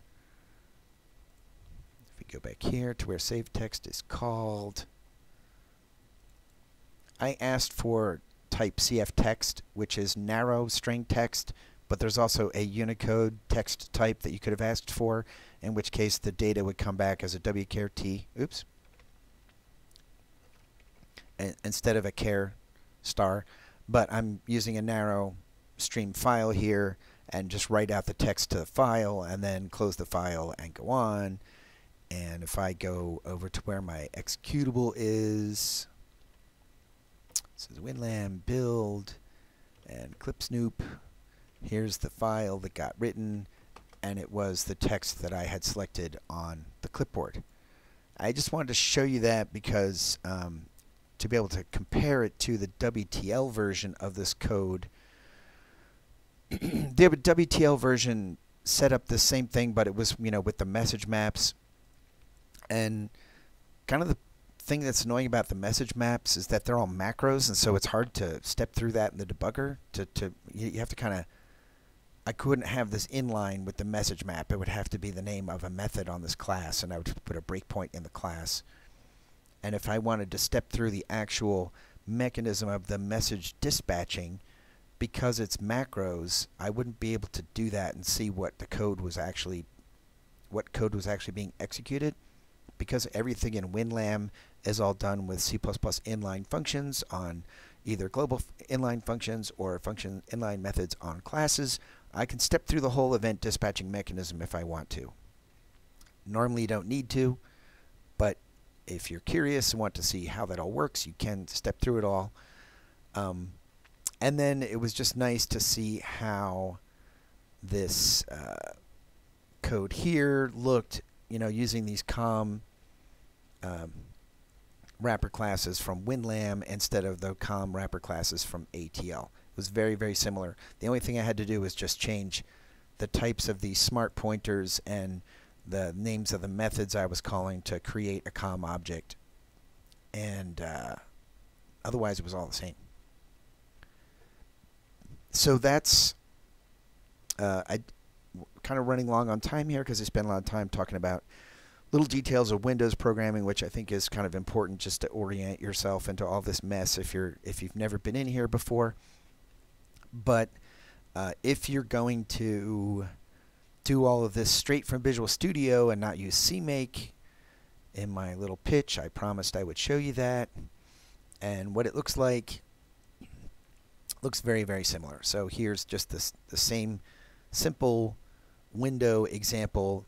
I just did it by, I created a blank empty project in Visual Studio.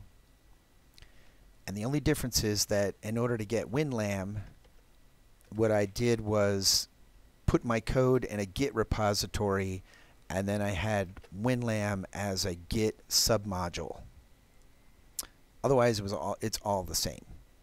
Uh, you can still use the resource editor obviously here. You and, and instead of editing a cmake list.txt to add new files you just you know right clicks over here and say add you know new from template or new item you know add C++ source files header files resource files directly that way. And when you're editing resources you just use the resource view and say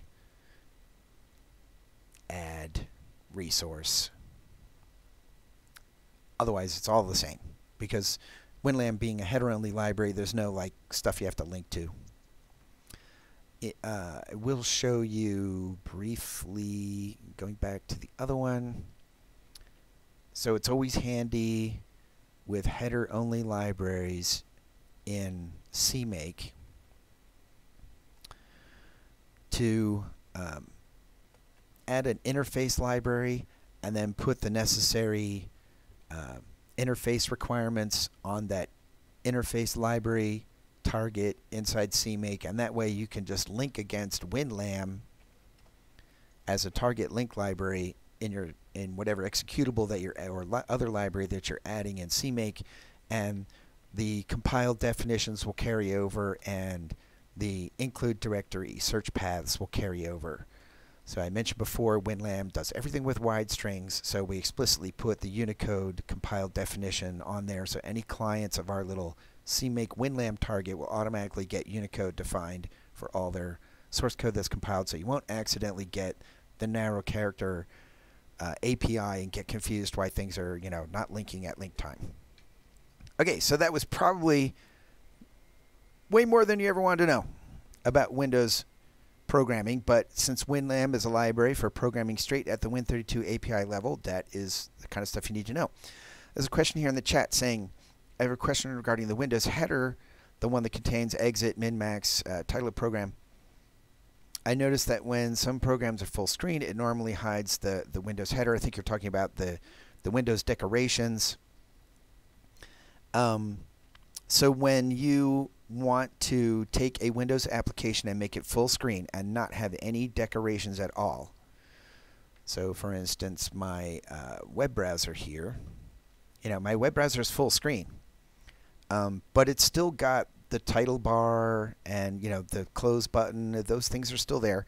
And then in a lot of web browsers, you can press F11 to go even more full screen, and now all that stuff's gone, right? The the close button isn't visible anymore. This, you know, it's got its own little thing that's appearing here. That's coming from the web browser itself. That's not coming from Windows. because it's the web browser has removed all the decorations. Uh, press F11 again to get back to the normal situation. And so the question is, how does that work? And the answer is that the if we go back to this code and we go to the first example, there are these style bits in the uh, there's a style and an extended style bits and that is how you tell Windows what sort of or tell Win32 um, how or what decorations to put on the window. So when you when the web browser when I press F11 and it switches to that full screen view and all the decorations have been removed, what the web browser is doing is issuing a, a, call into Windows to modify the style bits on the window to remove all of the decorations and it's repositioning and resizing its window to occupy the full screen. So that's how that works. And uh, it's also possible to get custom painting of those little bits of decoration. Windows gives you the chance to say, no, I'm going to paint those myself. Don't paint them for me. And that's, you might have seen some applications like really fancy title bars with like, you know, background images in the title bar animations, all kind of little doohickeys. That's how they're doing that. Is there? It's uh, Windows gives you a chance to paint what is called the non-client area, the area that encompasses all the little decorations, and you get a chance to paint it if you want, uh, or you can let Windows paint it for you, which is the most common case. Uh, another question in the chat is. Um, the question is, you know, excited about WinLamb looks a lot like writing web interfaces with JavaScript. It, it yeah, the callback lambda nature um, has a similar kind of feel to it until you get down into the weeds of the, the low level Windows API, and then it just it feels like C programming from the early 90s because it is. Uh, and the question is further, if you were to relearn Win30 today, would you learn by digging into the internals of abstraction like WinLamb, or do you think it is still valuable to learn and create an application using the C APIs? I would say Using the raw C APIs is so much more labor that I would not recommend it. Now, when I was uh, working on my little clipboard snooper thing here and converting it over, I started writing a little, my own little wrapper for the this this uh, function of Windows called shell notify icon, which I will show you what that looks like. So the shell notify icon function this is a classic kind of Windows style function. Takes a little code that says what it should do and a pointer to a structure that has all the extra data about what's supposed to happen. This function is what you use to add your own little icon into this area, the you know the Windows taskbar notification area. So if you, my intention for the clipboard snooper was to put an icon down in there so that I could click on it on the icon to get a context menu so I could say exit, right? Because since I don't have a window, how do I, if I run this thing outside of the debugger, how do I tell the program to stop?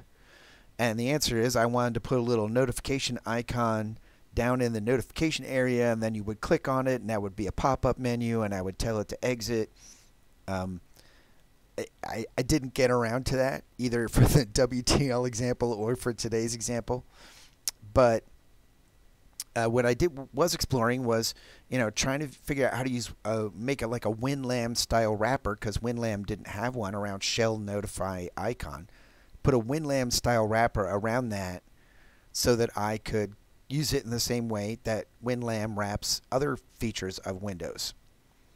Um, you can see they're all you know, really simple inline functions. So it's not hard to write one of these wrappers. The, the difficulty is reading the details of the Windows API documentation and trying to understand exactly how this stuff works because, the, again, the API style is very like late 80s, early 90s kind of C API style for manipulating a GUI object. So it's more understanding, you spend more time trying to figure out how things actually work from the way it's described in the documentation and experimenting than you do creating the wrapper. Once you, once you understand how it works, uh, you can create the, the wrapper pretty easily.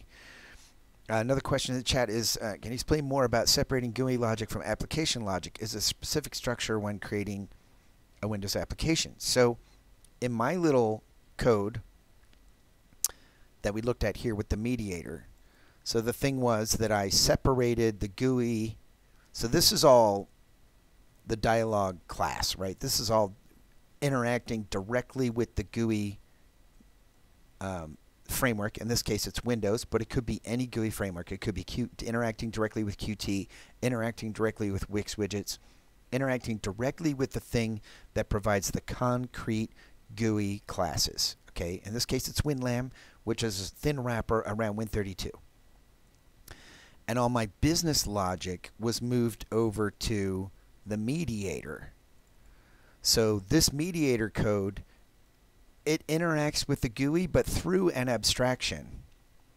And the abstraction is the key to being able to test this because now that my business logic is connected to an abstraction, I can supply, in a unit test scenario, I can supply a mock abstraction and control what that abstraction does. So there's a, um, if you a look at those solid object-oriented design principles, S-O-L-I-D, uh, which one is it? It is um, S is single responsibility principle, O is open code principle, L is Liskov uh, substitution. I think it's Liskov, which basically says details should depend on abstractions. Ab details should not depend on other details. So by introducing this abstract dialogue between my mediator, which holds the business logic, and the concrete GUI class that implements the abstraction, having that abstraction in the middle is what enabled me to do the testing of my application logic. So it's not a specific structure. The mediator pattern is just a general pattern that's very suitable for doing this sort of testing. Um, but really, it comes down to that old thing in computer science: is you know every problem is solved by an extra layer of indirection. If the stuff that I'm trying to test with a unit test is inside the middle of something else that's difficult to get at or difficult to instantiate, difficult to interact with because it's you know concrete GUI. It's not uh, an abstraction. The the answer is put a, a, layer of indirection in there, move it somewhere else that makes it easier to test, and that's what I did with this mediator. Um, when I put this code up on GitHub, I think it'll be uh, instructive for you to kind of poke around the code and see how it's connected. But the mediator pattern is just, you know, put a guy in the middle that mediates between the business logic and the concrete GUI, and now the business logic is interacting with abstract GUI, and I can mock that abstract GUI in a unit test, and I don't need to worry about a concrete GUI. Uh, one part, one more uh, question in the chat here is: What part of Win32 is is it at its strongest? Um, not sure I understand that. Um, I mean, what is the strength of Win32? I mean, it's just, you know, the, the massive footprint of Windows in the installed base. I mean, realistically, why would you write a, maybe this is the question, why would you write a program directly to Win32 at this point in time as opposed to using a GUI abstraction layer like wxWidgets or Qt? The answer is, uh, if you're doing something that those GUI abstraction toolkits don't expose. Like, I don't think they expose the ability to make your own little system tray icon doohickey that, you know, sits in the system tray notification area of the taskbar. Or if they do, in the case of Qt, Qt is like MFC. If you writing a small Qt program results in a large executable, right? Widgets is a thinner wrapper, but not every GUI abstraction our, our GUI framework that's targeted by wxWidgets exposes the idea of like the system tray notification area that, you know, I, I don't know, they might have that, uh, some kind of equivalent in like GNOME or some kind of one of those other Linux desktop frameworks. Uh, and then, you know, wxWidgets might have a way, a wrapper that exposes the equivalent functionality in both frameworks. Um, but for these little things that hang around on your system tray, for instance, and they don't, like my little clipboard snooper, it's not doing much, right? I mean, the, the program's not very big, either in source code size or in executable size. And because we want that thing to be responsive, I mean, it's going to get woken up every time something happens to the clipboard. Now, if it's a big fat executable, it's not going to be very cache friendly, right? It's going to be, uh, especially if, if you've got a, a framework that's causing you to jump into a bunch of different portions of your executable because of the, you know, the way Qt is implemented or what have you. MFC is similar. Um, so it can, you know, you paste something onto the clipboard and then suddenly, because that that little program was uh, out swapped out. It hadn't you hadn't used your clipboard in a while. It got swapped out of memory. So that you you paste, and then suddenly your machine kind of gets unresponsive because Windows is trying to send a notification to this program that's been swapped out onto disk. So it has to swap it back into memory. It has to execute it, and then and if the execution of the code is not cache coherent, it's going to cause even more cache misses and even more paging off of the off of the disk and back into main memory. Now, we live in an, a world where you know you know 32 gigabytes of system RAM isn't unreasonable and things like that. But Windows has a tendency to take stuff that you haven't used and swap it out to disk. Now you might say, I never notice it because I have an SSD. Well, it's even if with an SSD, it still is a lot of extra code that's executing in the operating system to swap that little program back in. So the smaller it is, uh, the, the the better for certain kinds of utilities. A little clipboard snooper is a good example. A small COM object that is dynamically loaded into another application is another example. So those are some examples where it can be useful to use a programming style that's targeting the lowest layer of Windows that is exposed, which is Win32, instead of using a heavy framework like Qt or MFC. Uh, even wxWidgets might be bringing in too much more than you wanted. Um, those things also have a deployment dependency. They have DLLs that you may have to, you know, if you're not linking against it statically, you may have to deploy extra DLLs with your application. Whereas this clipboard snooper that I've written, the only thing it depends on are the DLLs that ship with Windows itself. So you drop that executable in and boom, it's ready to go. It's ready ready to run. It doesn't need any other files to be installed. That also means it, it can be distributed as just a zip file. It doesn't need an installer, right? Installing it means unzipping and uninstalling it means deleting the executable. There's no additional stuff that needs to get packaged and configured into your system when you deploy these little small, lightweight, single-purpose, uh, you know, kind of toolbox style applications. Um, now, for your, if you're if you're writing, uh, if your goal is just to write a Windows GUI desktop application, I probably wouldn't, even with WinLamb, I probably wouldn't recommend uh, coding at that level. I would recommend something like wxWidgets or Qt or even MFC that provides a higher level abstraction. And I, you know, Q, probably MFC is probably a little long in the tooth now at this point. Uh, probably Qt or wxWidgets is going to feel better uh, you know, less uh, stuff you have to keep researching to figure out how to do it because MFC is kind of still kind of macro-oriented programming from the 90s, even modern MFC. Um, there's also, you know, Windows has this new WinRT layer that allows you to specify UI using a XAML file, and that's decoupling the the visual design from the application logic and so on. We've done a little bit of uh, discussion of WinRT in the past. There's a talk uh, I've done on WinRT on our YouTube channel. I didn't go much into the details of how to do GUI applications using that. We, we touch on it and show on it, show show how it works, but I didn't go into detail on it. But that's where Microsoft will push you these days if you were making a Windows-only GUI application, is they would steer you in the direction of XAML, even if you were going to do your business logic in C++ for whatever reason. Uh, but if you're going cross-platform, Qt or wxWidgets seems to be uh, more popular in terms of making a GUI application from scratch. I think WinLamb you use when you know you're going to need, you know you're going to be Windows only, you know you're going to need to access some of these lower level facilities because of the nature of what it is you're doing. So you might as well just do the whole thing, and it doesn't have a huge. Might as well do the whole thing using WinLamb, and it doesn't have a huge GUI surface area. So you're even though WinLamb makes it easier, there's still lots of the little weird idiosyncrasies of the Windows messages, the notification codes and the message codes, and lots of little stuff you need to know.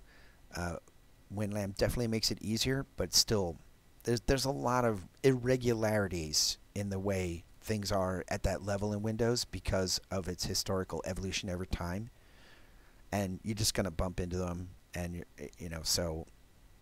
That that's why the higher level abstractions are more popular, even if they have executable uh, and size costs. You know. Uh, I don't see any other questions in the chat. You can also ask questions by audio. But otherwise, I think we've kind of beaten this one to death for two hours, so we're, we're going to end. Okay, if there's nothing else, we will end it there. Thanks.